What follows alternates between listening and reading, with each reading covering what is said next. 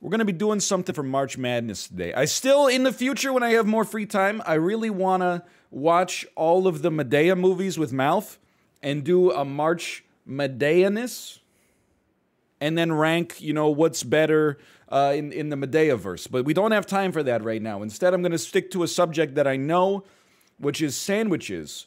And these are sandwiches from the Encyclopedia of Sandwiches. Um, so there are some classics in here, don't get me wrong. Um, and there's some messed up stuff as well, because I'm pretty sure this was made in like the 1960s, uh, which is when people were eating like bananas hollandaise and like jellied ham and stuff like that. I had a question as well, for the record. Um, I thought about this in the shower the other day. I apologize to YouTube because we're losing some momentum here. Do Gen Z people eat ham for dinner? Is that a thing that people under the age of like 26 do? No, really. Do millennials eat eat ham for dinner?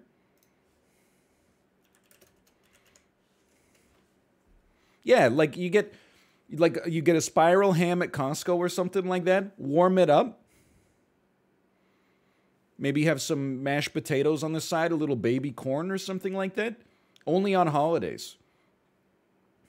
Dude, this is I, have never seen chat activity like this. Uh, growing up, I ate ham once a week for dinner, without a doubt.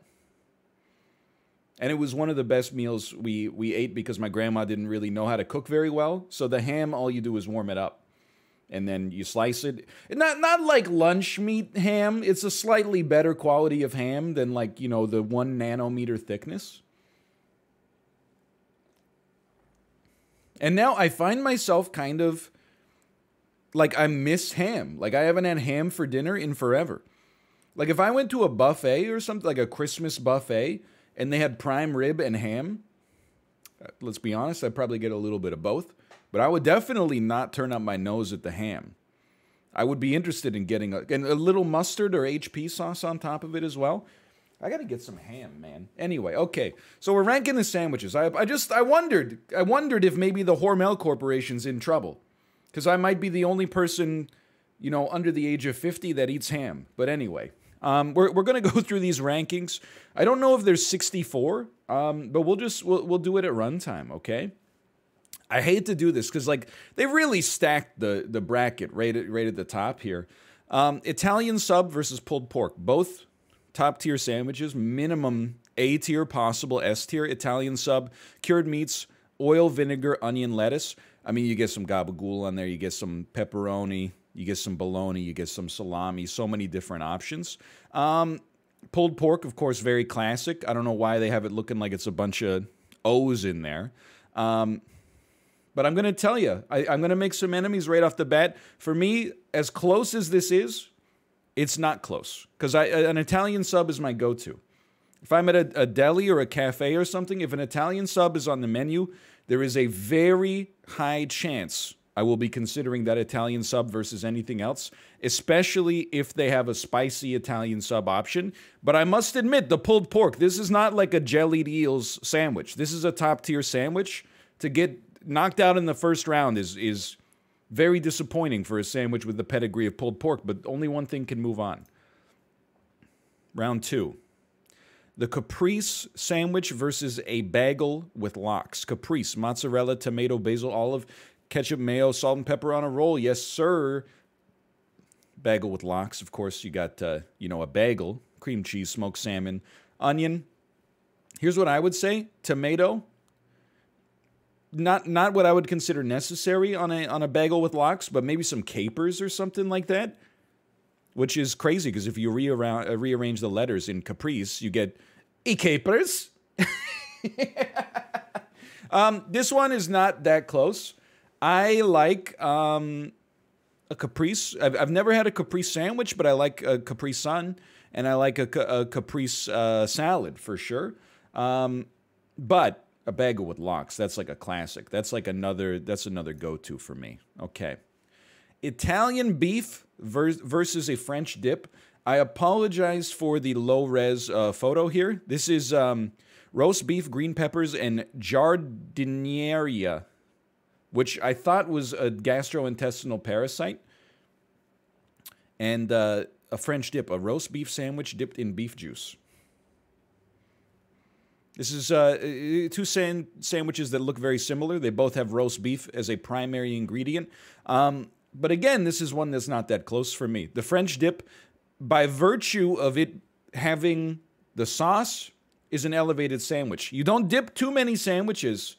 And I very much like the fact that, like, if I'm buying a French dip, I'm buying it partly to dip because it's cool. You know, there's not the, you don't do that with many other uh, with many other handheld sandwich devices. I will say, and I have had this happen many times before.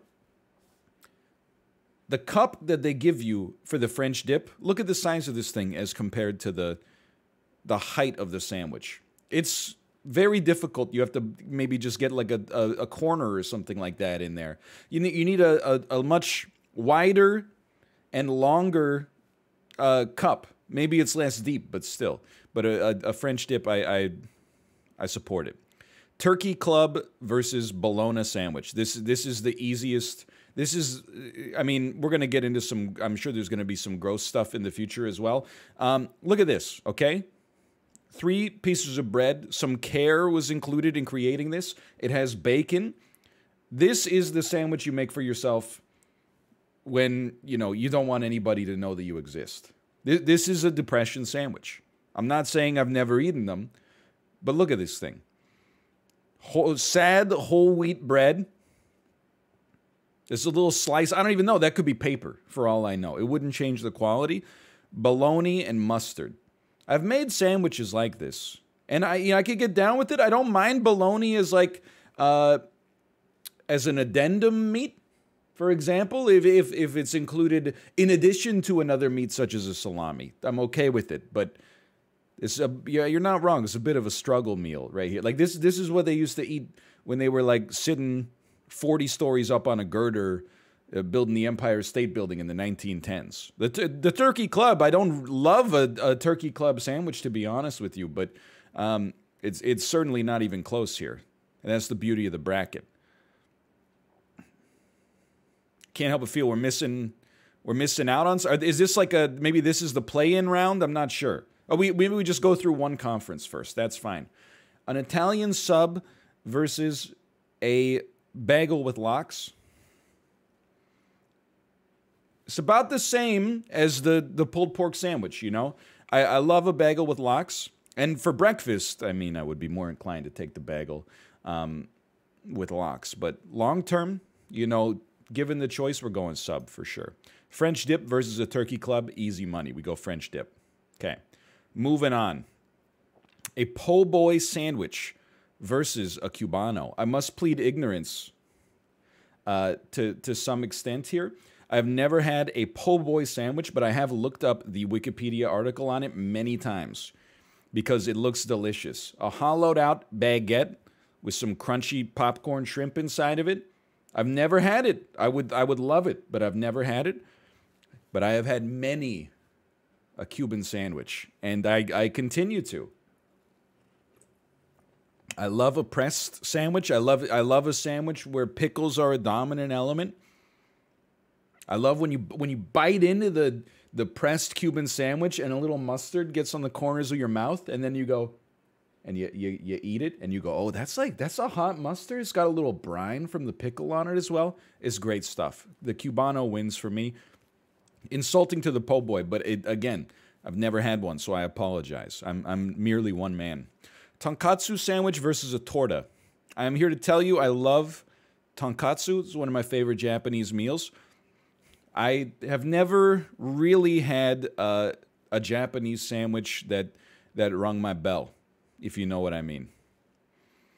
It's it's something about the to, for my personal opinion the disrespect to the bread. Always kind of like, you know, sugary white bread with the crust cut off I, I love the tonkatsu, but I'm I'm a torta man here. Like I, I have only had a few tortas in my life, but I've always been very impressed.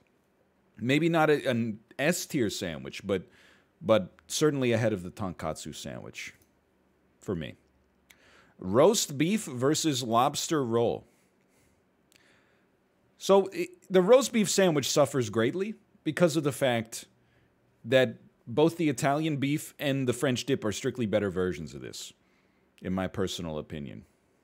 Plus, this just kind of looks disgusting. And it's partly because of the drawing.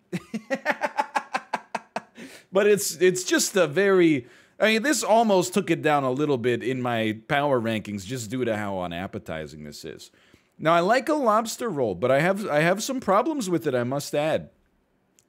Because of the fact that the lobster roll is like a glorified hot dog bun, it's weird to eat. You know, I like it, and I, I, I who doesn't, right? But I, I like lobster, um, and it's expensive. That's true, but like, it's it's weird to eat because if you bite through the bottom, it's almost like a hard shell taco in the sense that it loses some structural integrity, and then you end up eating, um, you know, the rest of it. It's it's messy. You're using a fork and a knife, but um, it I would definitely prefer. I mean, given the choice between these two, I, I would take it nonetheless. Yeah, and you're right. The lobster roll it's always overstuffed, so sometimes you end up holding it like this and just biting a little lobster like off the top. But it, I I do like it. I can't deny that fried chicken sandwich versus a BLT. Um, this one is going to annoy some people. I know BLT is probably one of the heavy hitters in this round. There's something to be said about uh, square bread toasted plus crispy bacon is one of nature's greatest combinations. There's no doubt about it. But I mean, just by virtue of, uh, you know, when I think of myself looking at it on a menu, there's no question I'm getting the fried chicken sandwich eight times out of 10. Probably eight times out of 10. So I, I got to go fried chicken on this one. A croque monsieur versus a tuna melt. Uh, I, I am, again, I'm going to cause some problems here. This is a very tough one for me. A croque monsieur I'm okay with it. I like it. It's a it's a you know glorified you know gussied up ham sandwich. By the way, what the heck is that? I'm scared about what's coming our way. A tuna melt, maybe the sandwich with the highest variance. Oh, that's just a Reuben. Oh, okay. I thought it was like a strawberry cake or something like that. I have eaten many a great tuna melt in my life. If they use decent tuna, and the tuna salad is not like inundated with way too much mayonnaise. And, you know, I've had some tuna melts that have like, you know, boiled red potatoes in the tuna salad, and it's fantastic. But you can also get some tuna salads that, like, let me put it this way if you opened it up uh, on a bus, people would know what you were eating. So, personally, I given the choice between the two, I would still take the tuna melt every time. But it definitely, it, it, you know, these are sandwiches that it can go both ways. Let's put it that way. We'll go with the tuna melt on this one. A Reuben sandwich uh, versus a Monte Cristo. This is extremely tough for me as well. This is not what a Reuben sandwich looks like in my head, uh, but I could be wrong. Definitely corned beef, Russian dressing, sauerkraut, Swiss cheese. I've never seen it served on uh, a monochrome rainbow like that, but I do like rye bread. Okay, that's what that is. Um, the Monte Cristo is is very good as well. I've never seen it served with jam. It's kind of interesting, but I got to tell you, it's very difficult for me to not choose something that is basically just you know, salted meat and I love sauerkraut. I love cabbage. I love fermented foods. Like the Reuben is a great sandwich for that. Okay. Now now we're going back Italian sub versus French dip. I hate to say it, Italian sub is a number one seed. I love the, you know, there's a couple of things you could say here, right? If you're sitting down, you could go either way, but I'd still probably take the Italian sub. But I mean, portability. You're not taking a French dip, you know, on the on the SkyTrain with you. I'm an Italian sub guy. What can I say? Cubano sandwich versus the torta. Actually, a much easier question than the first time uh, we were going around here, you take the Cubano. Lobster roll versus fried chicken sandwich. For reasons previously mentioned, um, we will be going with the fried chicken sandwich on this one. Tuna melt versus Reuben. I would be taking the Reuben sandwich. Now we're getting tough. Okay, now we got to think. The Italian sub versus the Cubano. I have to imagine something here because these are these are two very top tick uh, top ticketed. What am I talking about? Top tier sandwiches for me. The Italian sub or the Cubano. They both have a little sourness to them. The pickles versus the, the vinegar. They both got cured pork products on them. If push came to shove, and I, uh, that's what this is all about, I prefer the Cubano sandwich. It's the pickles, it's, it's the, the tartness of the mustard. I got to go Cubano on this one, but it's tough. This one is tough as well. Can I tell you? In general, structural integrity means something to me on a sandwich. And fried chicken sandwiches can go different ways depending on the way that they're constructed. Like if you if it's constructed of like a of a filleted thigh or something like that, you can actually like bite to the extent that you've taken out like 60% of the chicken but only 20% of the buns sometimes. The Reuben on the other hand, it's it's as if made by God, you know? It's elegant, circular. It it has a uniform shape to it.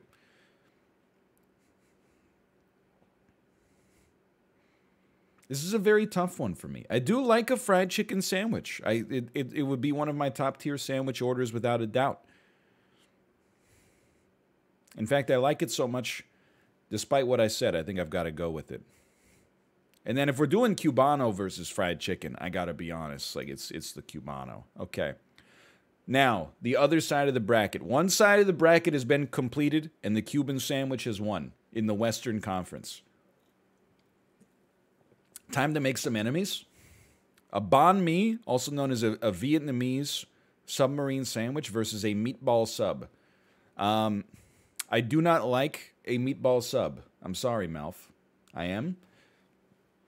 I, I, I think I would love a meatloaf sub, but it's it's the meatballs that I can't get down with. A a big sphere in between two flat planes, it doesn't work, man. Yeah, thank you, Jay. I appreciate that. You gotta you gotta slice the ball and then put like the flat side of the ball down on the bottom and then you can kind of close it. Uh, the the banh mi, on the other hand, I I've had some banh mi's that didn't really tickle my fancy. Sometimes there there's like a little pate element I'm not a huge fan of. Um, but in general, I, I love the banh mi, and I the the mixture of the the Vietnamese flavors, the julienne carrots and stuff like that, the cilantro with the crispy French baguette. It's a match made in heaven. We're going banh mi on this one, no doubt a falafel pita versus a veggie and hummy uh, hummy. Why is word wrong so much funnier if you add a y at the end? That's like that's the worst way to say the word wrong. This one is is possibly the easiest bracket we've ever had. This is like uh, what you order as a vegetarian, and this is what somebody serves you as a vegetarian when they don't know what vegetarians eat. Like, th- this is a disaster. I like all the individual elements, but like, it, it just as a whole, I don't feel like it works at all. Falafel pita, on the other hand, it's just delicious. So we're going with that one. What the heck is a bocadillo? Okay. Um. Uh. So I this is my least favorite sandwich in the world. I I do not like egg salad at all. It's also the most offen- offensive sandwich that you can eat because it smells like garbage. And if you're in like a closed environment and you open this, you're kind of a butthole, okay?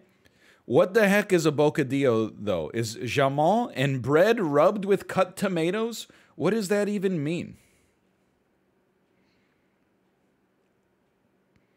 Is that like Kobe bread? It's like they were the the bread was in the same room as as hothouse tomatoes. I don't understand. It doesn't matter because it's to beat the egg salad sandwich. I'm serious. Like the, I don't know if I had like a traumatic experience with uh, with egg salad as a kid or something, but like even sometimes when when Kate will like she'll be like, "Hey, at the grocery store, can you pick me up an egg salad sandwich?" And in like the pre- the prepared deli section, there'll be like those hard plastic clamshell sandwiches. Uh, sometimes she'd eat half and then leave the other half in the fridge, and I don't even like looking at it. It's just something about it. I just don't like. I don't like knowing it's in proximity to me. I don't know what to say. It's not rational, but I'm like, really? Like, I, I could go get you like real food. I don't have to get you like a an egg salad sandwich on like Dempster's whole wheat bread from IGA. But I just I just do not like it. I hate it, man. It's it's dead to me. Cucumber tea sandwich versus Kentucky hot brown. None of these sandwiches have been made since the year 1983. This is okay, so let's diagnose, okay? The cucumber tea sandwich is um I mean it's possibly the most British food I've ever seen in my entire life. Uh, it is cucumbers in between two layers of unsalted butter on white bread with the crust cut off.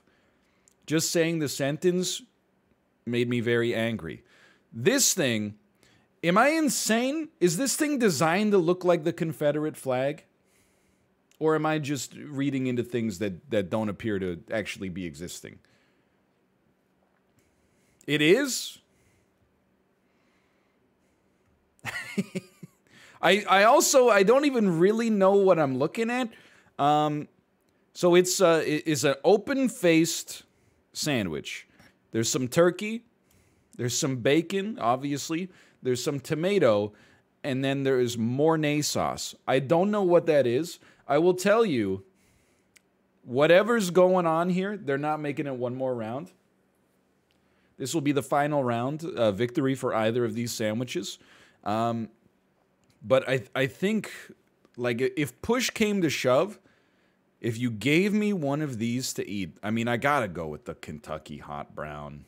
But like it's I genuinely imagined the taste of both of these. I this is this is just sad, man. A banh mi versus a falafel pita. It's very tight, but for me, I'm, I'm a falafel pita guy. If you said, "Hey, would you like? Would you rather get pita or would you rather get banh mi?"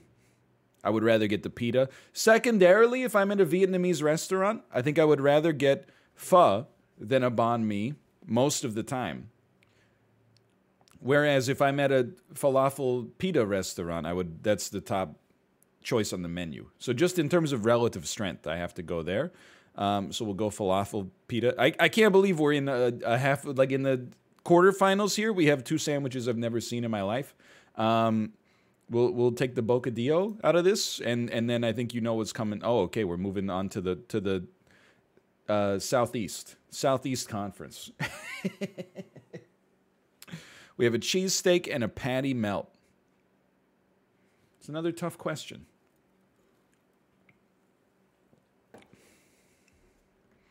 I'm to be honest with you. I think I'm a cheesesteak guy. I've only had a couple in my life. I've had a couple patty melts as well. I, this might be controversial. I kind of prefer just the grilled cheese or a hamburger to a patty melt. Like I feel like a patty melt is is worse than the two foods that it that were its parents, if that makes sense. It's not like it's still good, but I think the cheesesteak it has more of an identity to me as well. The patty melt's fine, but like, you know, if I wanted a patty melt, I could be like, oh, I'll just get like a grilled cheese. It would satisfy the craving. If you wanted a cheesesteak, you, you know, you're stuck. You got to get the cheesesteak. Chicken salad sandwich versus a jambon beurre. Uh, it's not even close. Chicken salad may actually be more offensive to me than egg salad, but it gets less hate from me because it's less popular.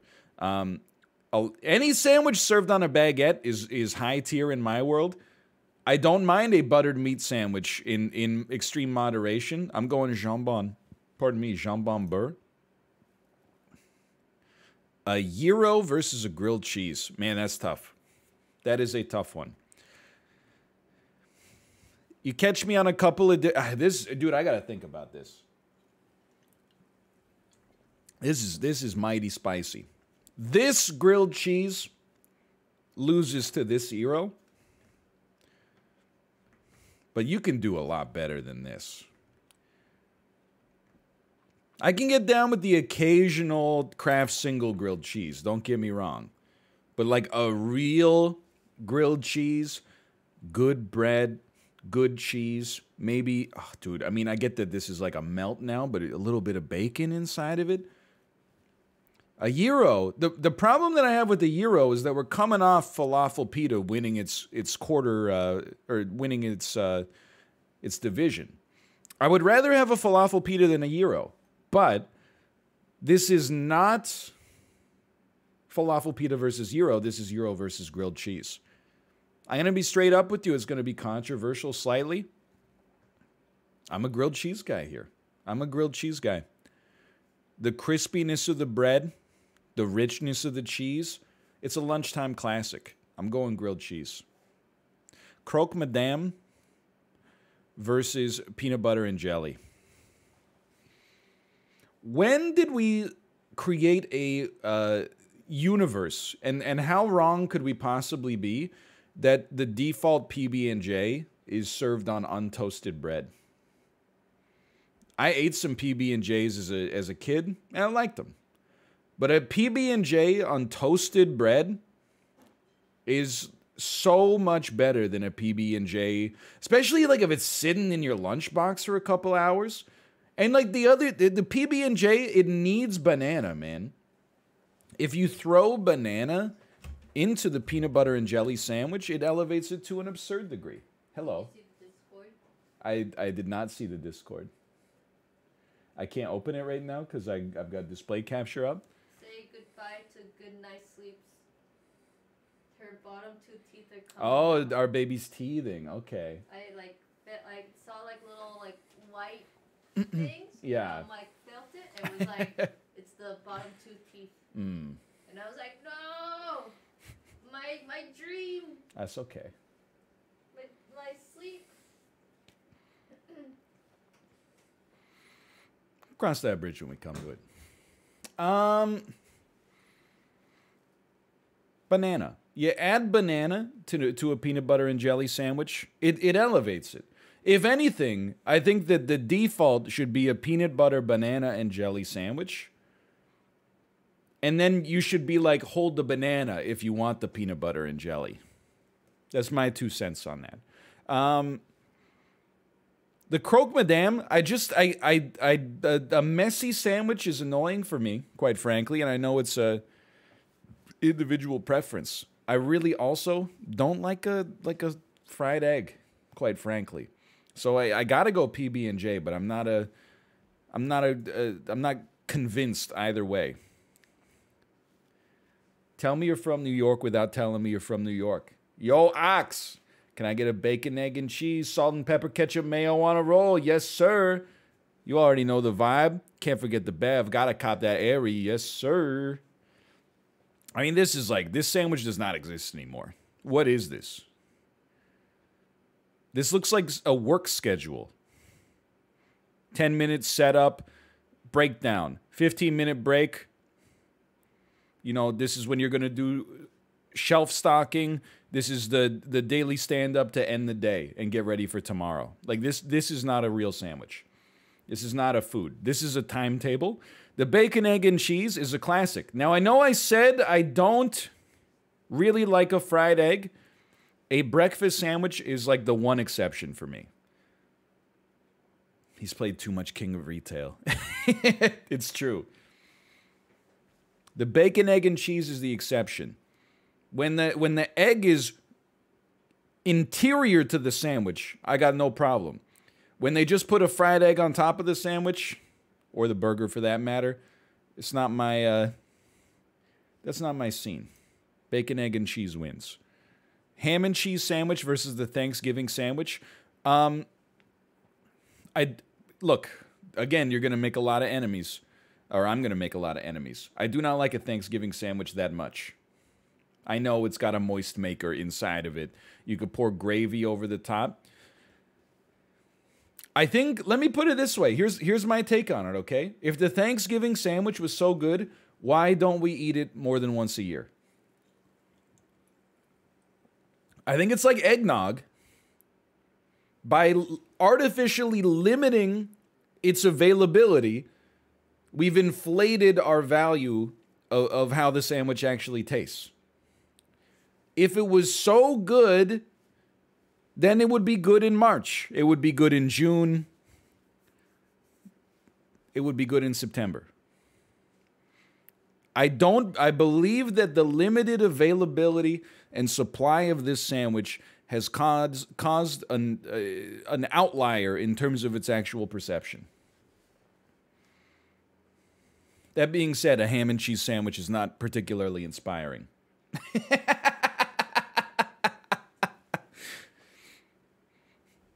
a ham and cheese sandwich is, I mean, I, let me put it this way. I've gone to Subway probably, I wouldn't be surprised if I've been 200 times in my life. It has never even crossed my mind to purchase the ham sandwich at Subway.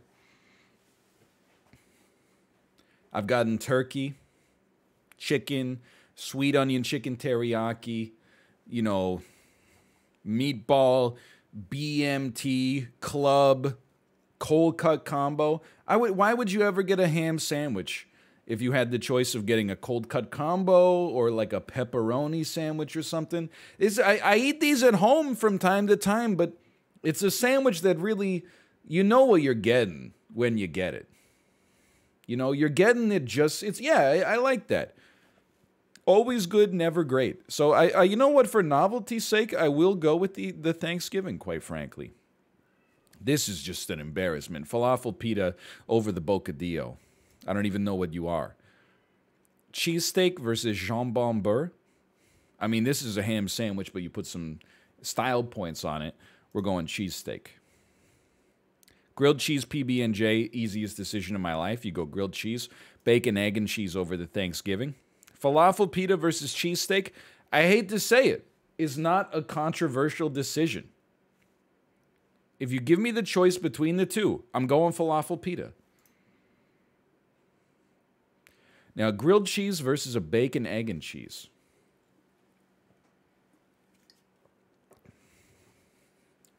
It's a very tough decision. Yes, sir. It's a tough decision because they occupy. You can't concoct too many situations in your life where you have the choice between the two. You know, one exists pretty much exclusively within the breakfast category. Um, one is more of a lunchtime food or even a snack, you could say. Some places do serve all day breakfast, but even still, it's hard to concoct a, a genuine situation in which these go toe to toe. So I'm thinking to myself, and I, you know what I'm thinking is if brunch. Brunch is the intermingling of these two meals. If we're at brunch, 100% of the time, I'm getting a grilled cheese. Full stop. If, if we're in a position where we've been swapping time zones, I'm getting the grilled cheese. It's not even really about the cheese, it's about the fried bread, man. Like the the the interior, it's kind of a wash for me right now. The crispiness, the saltiness, and and like the fat layer of the fried bread is so much more inspiring than like you know this thing that clearly came out of like a a clear plastic bag they got from the grocery store that just said rolls on it. Like this has got some some love and attention paid to it. I got to give it to the grilled cheese on this. Falafel pita versus grilled cheese. I mean, come on, we're going falafel pita. now the Cuban O sandwich versus the falafel pita in the finals. Let's go through the tale of the tape, okay? Cuban sandwich, ham and pork I think it uses. I don't know what what what pork is in this context. I think it's like a it's like pork loin, like pork tenderloin sliced. Swiss cheese, pickles, and mustard. Delicious. Fantastic. There's a reason it's in the finals. falafel pita. Falafel, also known as uh, chickpeas, garbanzo beans, uh, minced and fried. Lettuce, tomato, onion, cucumber, hummus. Let's be honest, so they did falafel a little bit of a disservice with this description. You may also find yourself with some pickled cabbage in there. You may also find yourself um, with uh, some hot sauce, with some garlic sauce, with some tzatziki or something like that. Tahini, exactly. A little bit, they, they did a disservice here, in my opinion, with the ingredients of the falafel. Now I'm going to walk through this a little bit, and I'm not just spinning for time, okay? The falafel pita has one principal problem it's the pita. I, I, I don't know if I've ever been to a falafel pita establishment and been like, wow, this pita is amazing. The actual quality of the of the bread doesn't vary in my opinion. Most of the time I find that it's it's merely kind of just there. I find that there's a low amount of variance. Now, the Cubano has a problem as well. It's the quality of the meat inside. Sometimes you're going to get deli meats. Sometimes you're going to get, you know, delicious uh, boar's head parma ham. Sometimes you're going to get the cheapest 99 cent per per 100 gram, you know, square ham that money can buy. They both have, uh, you know, their strengths. They also both have their weaknesses. Can I tell you another weakness with the falafel pita? It's the falafel. There's a, quite the opposite of the pita. There's an insane amount of variance in falafel. You can have unbelievably good falafel. They made themselves, deep fried it, and it's fresh right into the pita. Sometimes there's a place in near my university. I used to go there. I'm not going to say its name because it's a local business and I still think it was pretty good. You'd be like, uh, one falafel pita, please." I swear to God, this guy would open a Tupperware with six falafel balls in it and put it in the microwave right in front of you. Come on, man. It's insulting. Still got it every time, but it, it ends up almost being like it's it's like a little kind of mushy hummus ball instead of what it should be, which is crispy and I, I, I know this has a negative connotation sometimes, but almost like grainy. You know, when you bite into a falafel pita, it should be like um, it's a little bit of like a vegetarian kind of like cotton candy going on or something in there. It's it's beautiful. Now, it's a tough decision. I'm I'm still thinking on it myself. There you go. Yeah, like a little chickpea sand. Exactly. I'm still thinking. If I had the choice now, now I'm, I'm dealing with this from a philosophical context as well. Can I tell you? Because I no longer trust myself. What would I order at a restaurant? 100% of the time, I will be ordering the falafel pita. But am I ordering the falafel pita because I actually like it more? Or am I ordering it because I'm a guy who orders falafel if it's on the menu? Which one activates the, the parts of my brain that I want to light up the most, the enjoyment centers, you know? It's a very tough decision. I don't want to take it too lightly. Now I'm thinking like when you bite into a Cuban sandwich and you know like the ingredients aren't aligned properly and the moisture layer is a little too thick and when you bite into it it gets all askew. Like the top layer slides too much and you got to do your own re-affixing. You don't have to deal with that in a pita. But with a pita, sometimes you bite into a load-bearing seam and the whole thing just comes out.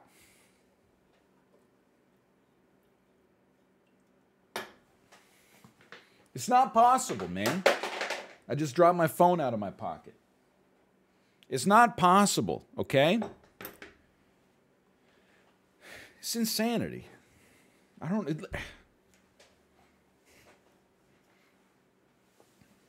Would a, Cub- would a Cuban sandwich beat a grilled cheese? 100%.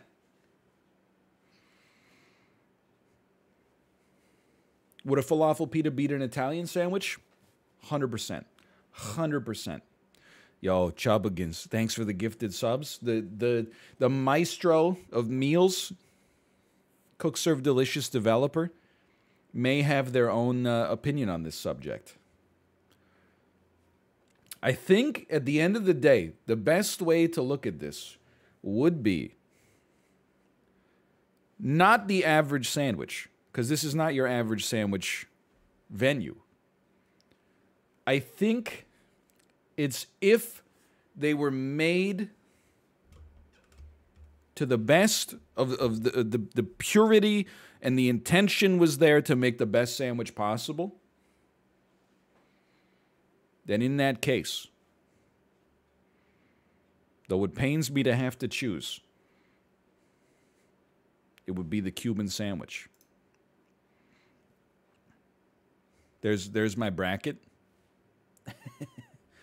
At the end of the day, I would say that a Cuban sandwich, it varies, but it can hit higher highs for me. The falafel sandwich or falafel pita, I would say always great, but maybe I've, I've never truly tasted one that was sublime. I think the Cuban sandwich has a higher ceiling. That's my take on this subject. We don't need to go through this, mostly because the screen region doesn't seem to work very well. The most important thing is that the egg salad sandwich didn't get a single victory, the cucumber sandwich didn't get a single victory, and uh, the the cucumber sandwich was relegated. If I could do the the, the list of like worst sandwiches, I'm thinking it would it would come down to chicken salad versus cucumber. That's a that's a bracket for another day.